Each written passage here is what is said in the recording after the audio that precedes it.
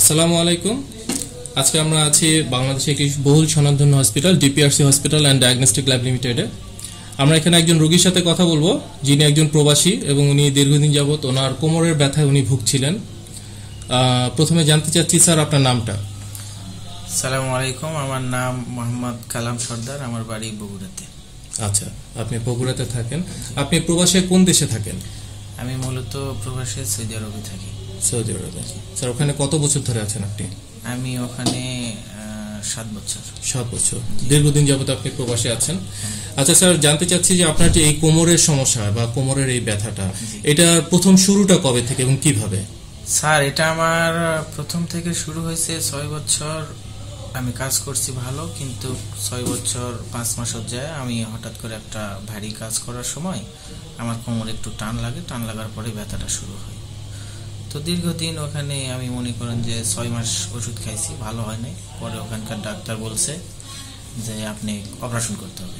আচ্ছা। তো আমি কমপ্লেন করছি আমার কোম্পানির কাছে যে আমার এখানে তো সম্ভব না আমাকে দেশে পাঠিয়ে দেন আমি দেশে যাই আমি অপারেশন করব। জি। তখন আমার কোম্পানি আমার কোনো কথা শোনেনি পরে বাধ্য হয়ে আমি ওখানে অপারেশন করছি। অপারেশন করার পরে আমি বিশ পার্সেন্ট সুস্থ। আচ্ছা। না এইটটি পার্সেন্ট আমার কোনো উপকারে আসেনি। পরে যখন দেখলাম পরে আবার তিন মাস ওষুধ খাইছি। ওষুধ খাওয়ার পরেও আমি যখন সুস্থ হলাম না পরে চিন্তা করলাম এখানে থাকলে জীবনটা শেষ। তো জীবনের লাইফ যখন শেষই হবে তখন দেশে যাই। তখন আমি বিভিন্ন চ্যানেলে কিংবা এই ইউটিউবে স্যারের হ্যাঁ ফেসবুকে স্যারের ফলোয়ার ছিলাম আমি। আচ্ছা।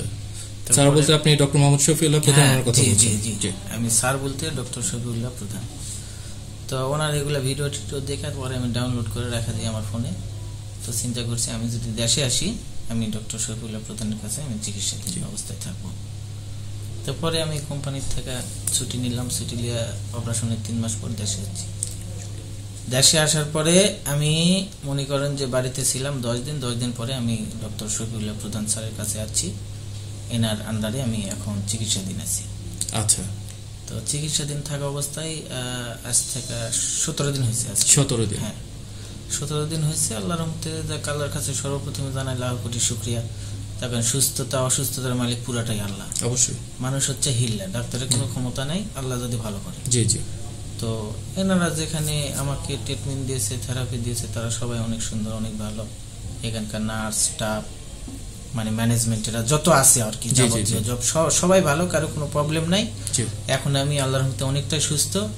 তো আমি আশা করি যে দেশে এবং দেশের বাইরে যতগুলা রুগী আছে, আমার মতো কষ্টে যারা থাকে, আমি তাদেরকে অনুরোধ করব, অন্য কোথাও না গিয়ে মূলত যেন এখানে একটা বার ডক্টর শফিউল্লাহ প্রধানের কাছে আসার পরে একটা বার চিকিৎসা হোক, তারপরে তাদের মন যেখানে মন চায় সেখানে যাবে।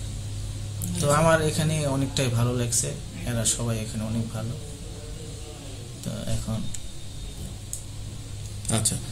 আপনি আপনার যে প্রবলেমটা সেটা আমাদের সাথে খুব সুন্দর করে আপনি ব্যাখ্যা করেছেন এবং আপনি এখানে ট্রিটমেন্ট নেওয়ার পরে আপনি আল্লাহ দিলে আপনি অনেকটুকু আপনি সুস্থ হয়ে গেছেন। তো এটা দেখার পর এবং শোনার পর আমাদেরও অবশ্যই অনেক ভালো লাগছে। তো আপনি সাজেস্ট করছেন যে যারা এই ধরনের সমস্যায় ভুগছে, তারা জীবন অন্তত একবার হলেও ডক্টর মোহাম্মদ শফিউল্লাহ প্রধান ওনার কাছে এসে ট্রিটমেন্ট করুক, এটা হচ্ছে আপনার প্রত্যাশা। আচ্ছা আপনাকে অসংখ্য ধন্যবাদ বিডি টু ডেজের পক্ষ থেকে আমাদেরকে আপনার মূল্যবান সময় দিয়ে সহযোগিতা করার জন্য। জি, আসসালামু আলাইকুম। ওয়ালাইকুম আসসালাম, সালাম আলাইকুম। সবাই ভালো থাকবেন, সুস্থ থাকবেন এবং আমি আবারও রিকোয়েস্ট করতেছি, সবাই এই ব্যথাতে ভুগলে অবশ্যই ডক্টর শফিউল্লাহ প্রধানের স্যারের কাছে আসবেন এখানে এখানে আসা ওনাকে একটাবার হলেও দেখাবেন। সালাম আলাইকুম। ধন্যবাদ।